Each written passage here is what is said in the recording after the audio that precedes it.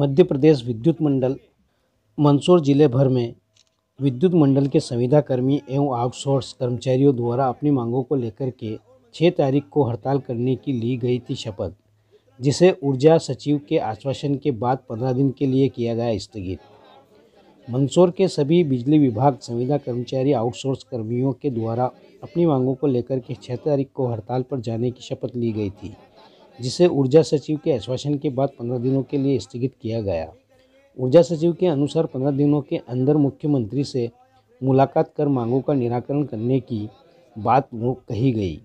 एवं आश्वासन दिया गया कि इसीलिए आपकी सहमति से छः तारीख को होने वाली हड़ताल को फ़िलहाल स्थगित किया गया है कि वे एस परिहार के अनुसार अगर मांगी ली गई मांगों को पूरा नहीं किया गया तो पुनः हमारा आंदोलन जारी रहेगा। समस्त संविदा कर्मचारी एवं आउटसोर्स कर्मी यूनियन द्वारा मांगी गई मांगे समस्त ज़िले के सभी बिजली विभाग के संविदा कर्मचारियों एवं आउटसोर्स कर्मचारियों को सविलय करने एवं संविदा कर्मचारियों को नियमित करने की मांग रखी गई। शामगढ़ संवाददाता संजय चौहान की रिपोर्ट। सभी साथियों से अनुरोध है कि आज आप लोगों की ताकत काम आई है, जिससे कि हमें माननीय ऊर्जा सचिव द्वारा बुलाया गया और ये आश्वासन इतिहास में पहली बार दिया गया है कि मुख्य माननीय मुख्यमंत्री जी से हम पंद्रह दिन के अंदर चर्चा करा देंगे। इसलिए आपसी सहमति से छः तारीख से होने वाली जो हमारी हड़ताल थी, उसको हम अभी स्थगित करते हैं।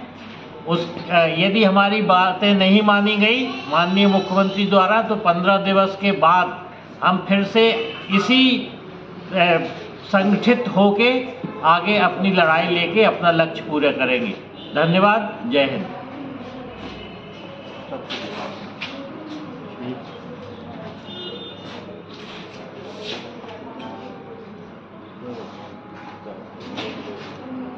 कर्मचारी द्वारा जो हड़ताल की बात कही गई थी तो हड़ताल का क्या हुआ? कैसे क्या? थोड़ा बताइए। हड़ताल के विषय में जानकारी मिली है कि इनके जो यूनाइटेड फोरम है उनके जो मुखिया है उनको जो हमारे पी एस सर हैं जो ऊर्जा विभाग के उनके द्वारा आश्वासन दिया गया है कि पंद्रह दिन में सीएम साहब से उनकी मुलाकात करा देंगे। इस आश्वासन के कारण जो है वे पंद्रह दिनों के लिए जो हड़ताल स्थगित की गई है और यदि आगे पंद्रह दिन में नहीं होता है तो फिर वो हड़ताल पर जाएँगे। इस टाइप का हमको समाचारों में देखने को मिला है। अच्छा। क्या नाम है सर आपका? महेंद्र पवार।